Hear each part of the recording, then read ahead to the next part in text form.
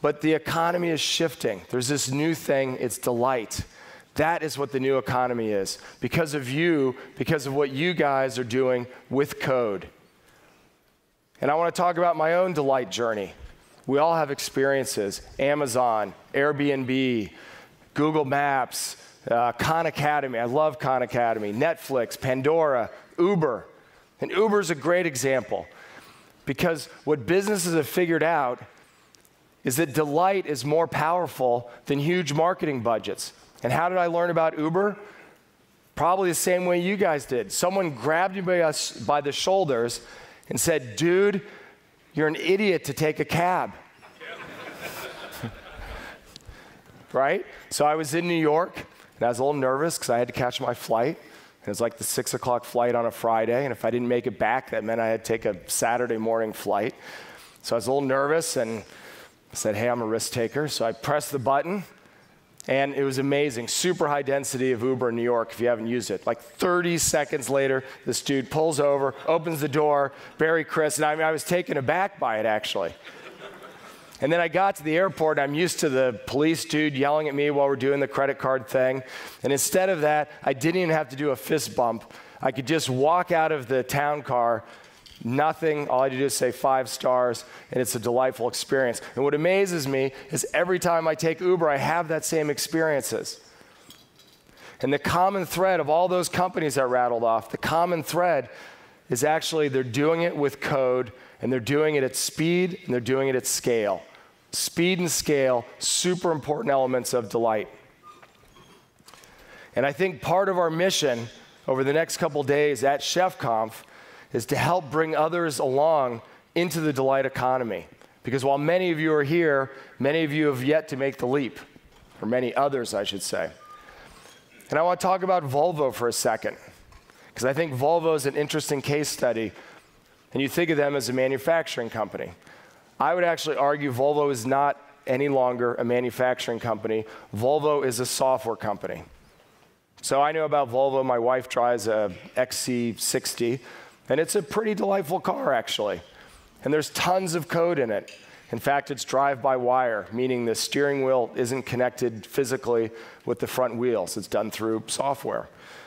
Uh, has in-dash maps. You can pair, like many cars, you can pair through Bluetooth with your phone.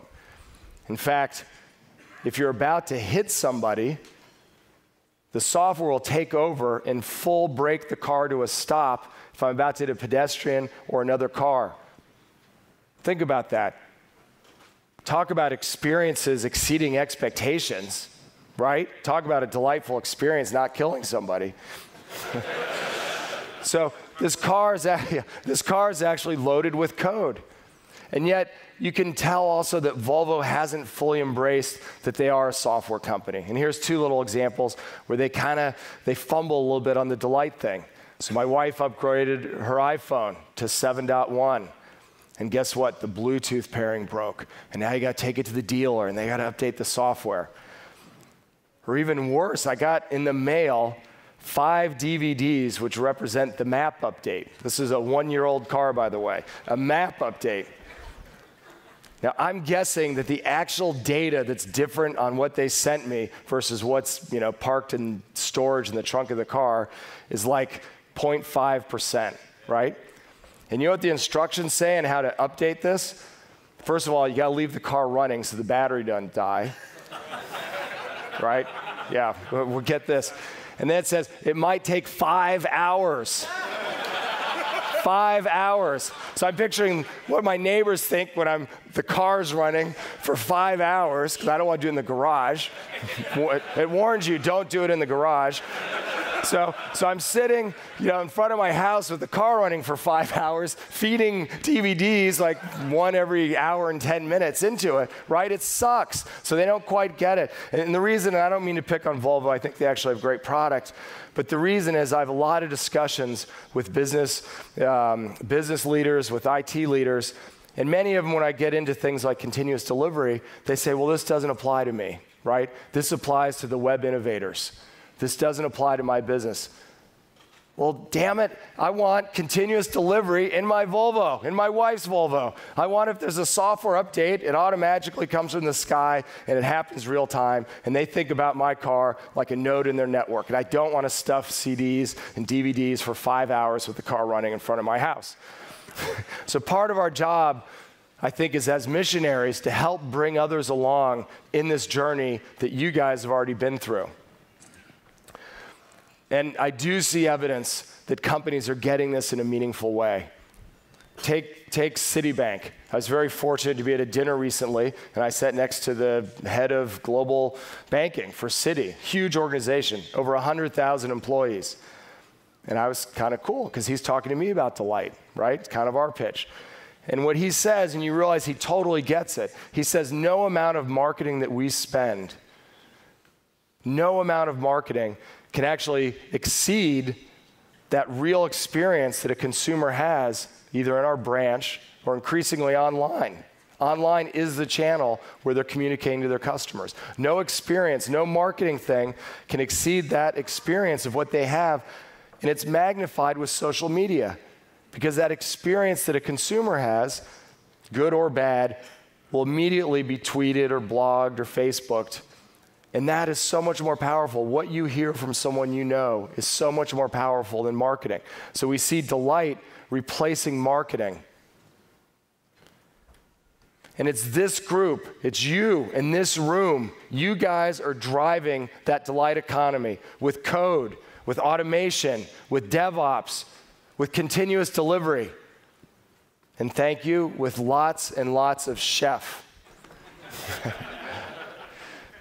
And hopefully, we're going to talk about all those things over the next couple days. That's what this conference is about, helping you guys deliver delight. That's why we chose it for our banner, for our t shirts. So, let me, let me talk a little bit about what's happening in the chef universe. So, first of all, I have to share some very sad news if you didn't hear it. Mitch Hill passed away in December of last year. There's many things I could say about Mitch, but I think his oldest son said it best at his memorial. He said, My dad is a badass. and if you knew Mitch, you knew, in fact, he was a badass at every single thing that he did. And the company chef, we want to memorialize Mitch, so we've created a scholarship in computer science at Western Washington University in Mitch's name Western Washington is a place where the Hill family has very close connections. In my last conversation with Mitch, I asked him simply, What can I do to help? And if you know Mitch, you know he's a guy of very few words, very compact with his statements. And Mitch said, Make Chef happen. Make Chef happen. And I'm super pleased to be here today and tell you Chef is happening. And you can see it happening with our community growth. We now have over 5 million downloads of Chef, something like 300% year over year growth of our community size. You can see it with our cookbooks, with our content. Something like this blows me away. Over 400,000 cookbooks a month are downloaded from our site. You can see it with the quality of our customers, many of which are sitting out here and are going to be presenting over the next couple days. You can see it with our partnerships Amazon Web Services, Microsoft, HP, Juniper, IBM, Google, BMC, VMware. It's a who's who list of this industry. You can see with our sales growth 188% year over year growth, nearly double our closest competitor. You can see in an external belief in Chef we raised $32 million, nearly doubling our outside investment last year. And we had great validation this week. I don't know if you know the, the RightScale uh, piece on state of the cloud. It's awesome. They had a whole section and it said chef leading and configuration management. And this is a change from 2013. Chef grew in the last year at nearly double the rate of our close competitor. We lead the category in overall share, and what I thought was super cool, they break down four subcategories. Chef has always been really strong with developers. That's not a surprise to us. but was surprised across all four developers, IT operations, large companies, small companies. They had chef, leader share, and all of those. And thank you. It's because of this group, because of you, because of what you've done out there.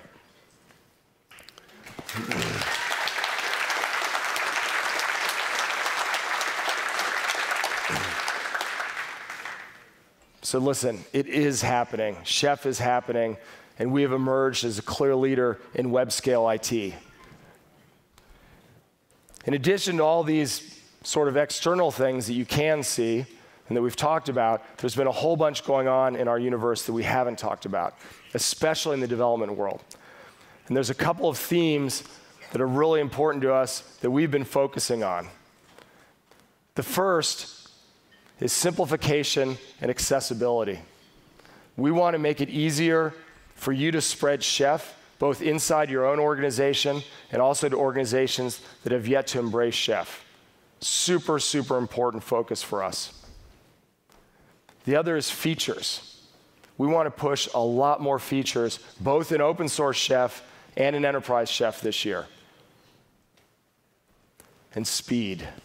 We've talked a lot about speed inside the company. And I think there's two reasons speed's so important. First of all, it actually is, I think, what you're really getting from us that you deliver to your own organizations. It's speed. The second thing it means to me, and means to the company, is we need to be better at this. We need to push stuff out more quickly. We need to get features to you more quickly. We need to get fixes, bugs, all that done at speed. It's a big focus for us. You'll see a new community site this year. You'll see Chef DK later today. You'll see Chef Metal. You'll see us do neat things with Berkshelf. You'll see us deliver the best container workflow in the industry. You'll see a revamped download process from us. And we have a couple other things we're going to announce later this year that we still have up our sleeve. We'll ship more features this year than we ever have in our history. So, how did we get here? How did we all get here in this intimate gathering of future leaders of the delight economy? And I want to talk about where that came from. And by the way, I started in IT, that was my first job. And let me tell you, back then, IT was not really about delight. it was about infrastructure, yes. It was about a lot of fixed stuff. You know, get over here and fix my fill in the blank email, servers down, storage, website performance, lots of running around. Or project work. And there was two things about all those projects, all those IT projects that I touched and I saw.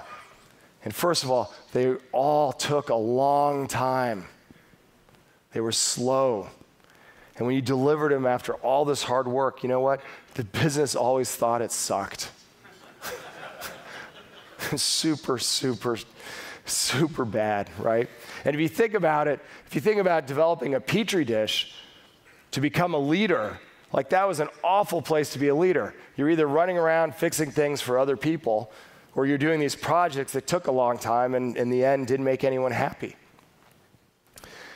And really, this started to change, and it started to change with the web innovators, right? That's where this redefinition of IT began to happen. That's where the delight economies come from. That's where DevOps came from. That's where Chef was born. That's where this thing started to happen. That's where delivering software at speed and scale came out of. It came out of the Amazons, the Googles, the Facebooks, the Yahoos, who are many of which are in this room. And then it became contagious. It was so different than what people had experienced in the past. It became contagious.